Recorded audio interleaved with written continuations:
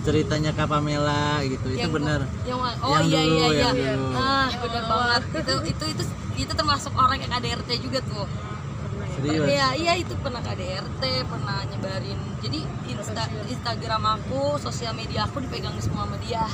Dan dia tuh se- segampang itu nih saksinya dia. si mata Saksi. hidup Dia tuh ngancem dan selalu ngancem kalau misalnya kamu nggak mau balikan lagi sama aku atau berantem terus atau ya Iya. ngancemnya tuh langsung foto-foto aku yang ada di galeri tuh diposting sama dia jadi kayak email aku nomor aku lokasi aku tuh disadap semua sama dia jangan bersekolah sama dia Iya, ya iya. bisa dapat sama dia jadi walaupun di- galeri itu juga bisa masuk gitu dia dulu termasuk si foto bukan foto shoot sih lebih ke foto seksi niatnya sih pengen kirim ke dia Iya. tapi ternyata di save sama dia terus dia upload lagi terus Oh. kelemahan kita ya jadinya ya di situ. Eh, Itu makanya kejadiannya- cuma foto seksi kayak mau tidur gitu loh. Kejadiannya tahun berapa itu Kak kalau tahu? 2015 Ih, dia apa loh? Berapa tahun berapa? 2015 2015 iya. Oh. Kenapa sih Tapi demen sempat kepikiran untuk nempuh jalur hukum gak sih kak? ah sempet sempet ya. sempet. Tapi dia nggak nerima panggil apa sih dia Oh, nggak iya. nggak dia nggak Oh, datang dia nggak kita udah datang. kirim udah kirim surat ke rumahnya dia nggak datang iya benar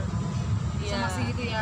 Aku tuh dia nggak aku tuh parahnya gitu sih kalau udah sayang sama orang aku tuh kayak kasih semua. kasih serai semua kayak aku mau tidur Oh, foto iya. foto. Mau Akun mandi mau mandi masih pakai anduk juga aku kirim gitu kayak kalau udah bucin susah sih kalau iya bucin banget. Dan akhirnya itulah kelemahan aku dijadiin apa ya dijadiin kuncian buat dia Iya. jadi dia ngancem bagian ditinggalin nggak mau ya begitu Eh, ya jadi aku masih pengen cari kebebasan dia tuh nggak pengen aku sama yang lain maunya sama dia aja. Tapi nggak ada berpikir negatif gitu gue mau bikin foto seksi nih ke dia tapi takut diapa-apain itu aku nggak ada. ada pikiran kayak gitu aku pikir ya udahlah ini buat pasangan aku gitu. Macet lah ya istilahnya. aku pikir ya udahlah buat bo buat bo. Enggak lah pacar lah. Pacar lah. Ya kayak udah percaya saking percayanya sama dia gitu. Aku kan udah naruh hati ke dia dia juga udah selalu Percaya lah. ya. Sama. terus ya udah jadinya toksik hubungannya kan termasuk kekerasan mau nabrakin mobil berantem di Iya. mobil parah sih. parah sih banting pintu uh pokoknya hampir udah kena lah pukulan-pukulan dari laki-laki tuh aku udah pernah kan sekarang sih udahlah nikmatin aja sendiri dulu ya. kemarin juga sempat sih kenalan sama sama artis dia juga sempat yang kayak maksa untuk aku ya punya hubungan punya hubungan sama dia tapi itu kasar banget sih dia tuh kayak bener-bener megang tangan aku tuh kayak. Gini sampai sampai biru. Dan ah, kembali lagi sih gue mau pacaran mau ngulang lagi gitu. jadi aku pergi. Tapi kamu risih nggak sih dengan image keseksian ini? Duo serigala terutama lah ya. Emang udah nempel sih ya kan. Kita mau tutup juga udah seksi. Ya. udah image-nya dua segala tuh udah pasti dribble udah pasti seksi.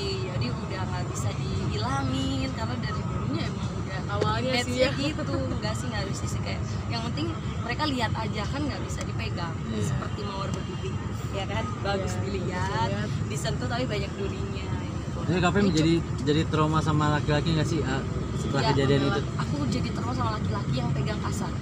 Kayak kemarin aku deket sama salah satu ya bukan artis sih dia pernah pacaran sama artis. Eh, eh, cuma kasar. Cuman ada berita kekasaran juga. Jadi aku tuh kayak dideketin pas deket sama dia juga kasar juga sama aku.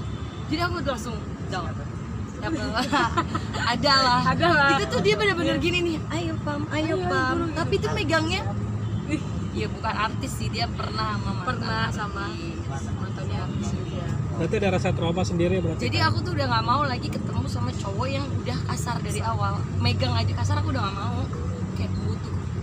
Ya lembut Lembut lah. Cewek itu kan butuh disayang butuh dilembut bukan untuk jadi bahan kasar kamu bahan pelampiasan kamu itu bukan